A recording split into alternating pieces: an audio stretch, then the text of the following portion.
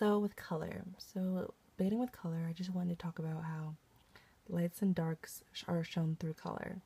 When we look at apples, for instance, they're not just green, they're dark green and light green and a whole bunch of colors in between, like blues and even deep purples. It's not just a dark or regular green. So through my artwork, I show I show this through my design So I really wanted to make my outfits pop and have a lot of colors. So with the first one, I wanted to include not just an all black dress, but also include yellow and white and purple as well. And with the red dress, I wanted to include light red and dark red along the lining of the dresses with the mediums. So medium, my favorite medium to use is pastels.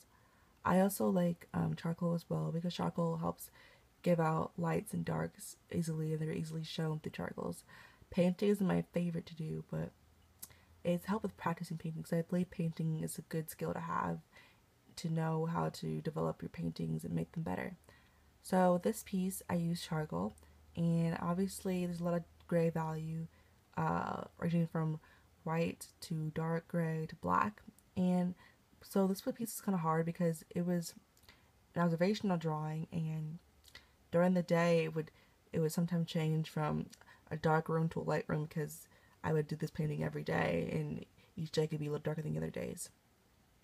So with this one I used pastel and um, I it was hard because I'm not used to look I'm not used to working with lighter skin tones but this time I want to challenge myself and I happened to use um, a white pastel first then I used a pink one and then I used a little bit of burnt sienna for the sides of her face to give her face more depth and then this painting for color and uh, for medium I used paints watercolor. And first it was pen I added um, a lot of colors as pink yellow purples and greens to give it life. I wanted the painting to pop not just be pen. And then also wanted to give depth with the pot so using a dark brown to light brown. So realistic themes. So this year's themes for me what I think was realistic themes because I wanted to focus more on real life objects and how they would look. Especially with portraits. I love drawing portraits. I love the face because the face can always change expression um, the face also gives out a lot of feeling and emotions, but especially with the eyes, because the eyes are kind of like the view of the soul. So this painting, um, it's more of a biomedical illustration piece, and biomedical illustrations like drawing, um, like scientific illustration, drawing from plants to animals to people. They're drawing realistic things for um, information for people to look at and to observe and to understand. So I chose to draw a flower because the flower was simple and it, and it gave a lot of, um, you know, depth. And then this painting, I also use this as a real, realistic thing because it's a real person. She's an actress. Um, and I wanted to give her face a very um, deep depth. And you can tell by the size of her face with the jawline and the neckline. It's a lot of depth to that. And then this next piece is charcoal. And it's realistic because it was also an observational piece, just like the other one I drew. And I had to look at the the um, vegetables that I was drawing, and every, it was challenging because every day it would change from um, a light to a dark depending on what day it was because the room was brighter on some days and darker on the other days. So it's shading. So shading, especially with charcoal, I um, wanted to focus on this because I want to practice with drawing with charcoal for my um, different paintings I was doing. And so from lights to darks, and it's really hard because the face, if it's too dark, it's hard to bring out the eyes and the size of the, the cheek and the forehead.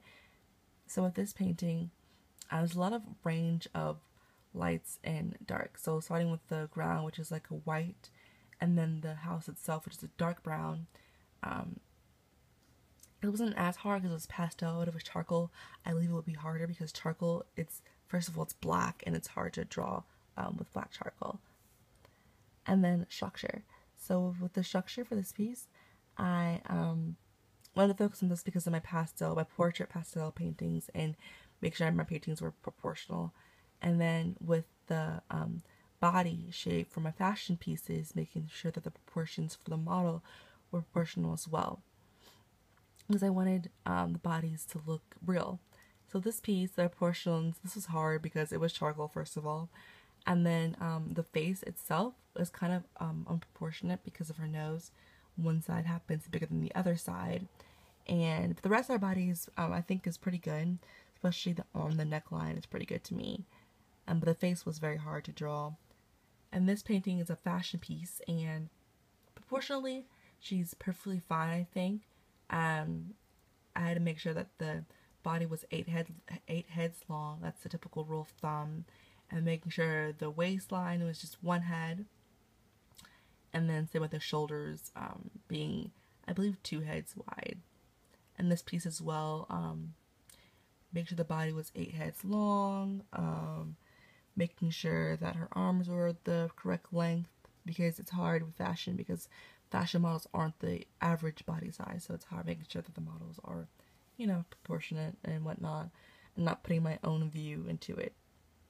Even though I did make these a little bit thicker than normal uh, models are, because I wanted myself to be in the paintings.